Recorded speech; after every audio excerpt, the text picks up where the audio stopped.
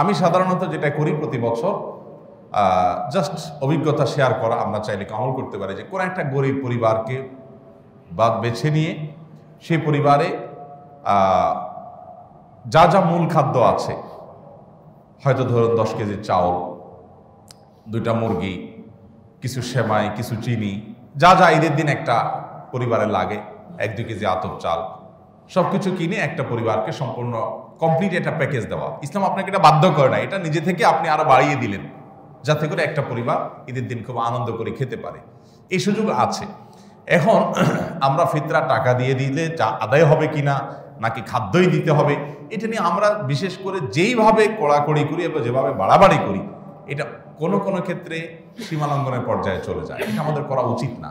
যেখানে ইমামদের, ফকিহদের, মুস্তাহিদগণের একাধিক গবেষণা আছে, একাধিক মত আছে এবং বিশেষ করে দানের ক্ষেত্রে একটা গুরুত্বপূর্ণ মূলনীতি হলো গরিবের জন্য কোনটা বেশি উপযোগী সেটা মাথায় রাখা। আমি সৌদি আরবে দেখেছি, সেখানে সাধারণত সবাই খাদ্য দিয়েই দেয়, নগদ টাকা দিয়ে দেওয়ার কালচার নাই, কারণ সেখানকার ওলামা একরামের ফতোয়া হলো, নগদ টাকা দিয়ে আদায় করলে ফিতরা আদায় হবে না। তো যার কারণে তারা খাদ্য দিয়েই দেয় সবাই।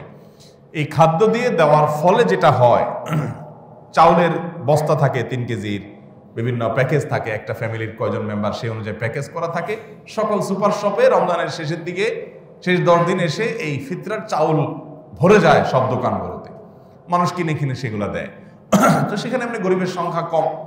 আবার দেখা যায় সবাই মিলে এক আইটেম দেয় চাল। তো এরকম অনেক গরিব আছে যে পিক নিয়ে এসে মসজিদের সামনে বসে।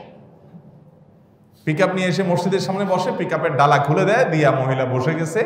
সবাই ওই দোকান থেকে চাল কিনে কিনে তার পিক আপে ফেলতেছে। তো পিক আপটা ফুল হয়ে গেল, সে বাসা যায় নামায় আনতেছে, আইনে আবার পিক আপ নিয়ে বসছে। তো পরে দেখা গেছে এত চাল কি করবে সে? তো ওখানে প্রবাসী বাঙালি ইন্ডিয়ান যারা থাকে, তারা দেখা যায় ওই দানকারী হয়তো বিশ রিয়াল দিয়ে চালটা কিনে দিল, ওই মহিলা সেটা পাঁচ সাত রিয়াল, আট রিয়াল যা পাইলো বিক্রি করে দিল। তাহলে এটা দেখি গরিবের লাভ হলো না ক্ষতি হলো? গরিবের তো লাভ হলো না। তো এইরকম পরিস্থিতি কিন্তু, এটা কিন্তু বাস্তবতা। যখন সবাই মিলে একটা আইটেম দিবে, তখন কি হবে?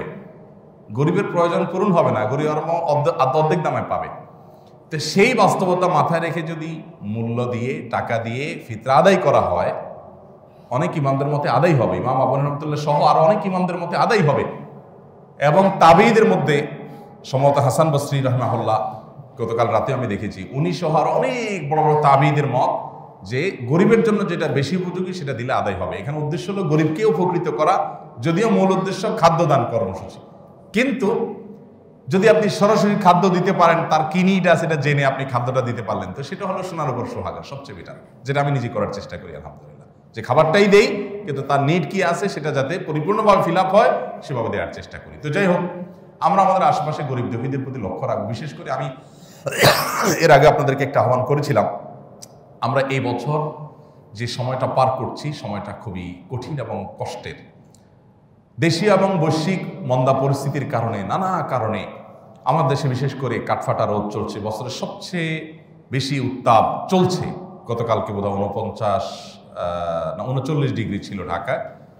চুয়াডাঙ্গার দিকে বোধহয় চুয়াল্লিশ ডিগ্রি উঠেছে এবং গতকাল আজকে বছরের সবচাইতে তাপ, উত্তাপ এর সময় আমরা পার করছি। খেটে খাওয়া মানুষগুলো বাইরে কাজ করতে পারছে না। এমনি মন্দা পরিস্থিতি, দুই টাকা জিনিসের দাম চার টাকা। সব মিলিয়ে মানুষের খুব কষ্টের মধ্যে দিনাতিপাত করছে। তো এই সময়টাতে আমাদের আশপাশটাকে একটু আমরা খেয়াল করি। আমরা নিজেরা শুধু বুড়িভোজ না করি, আশপাশটাকে খেয়াল করি।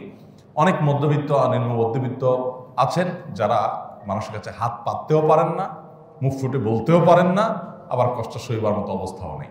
আমাদের দায়িত্ব হলো আমাদের আশপাশটাতে খেয়াল করা যে আমার আশেপাশে প্রতিবেশী যারা আছে, অনেকে শুধুমাত্র আত্মীয় স্বজন দেখে দেখে দেয়। আত্মীয় স্বজনকে অগ্রাধিকার দিবেন, এতে কোনো সন্দেহ নাই, এতে কোনো সমস্যা নেই।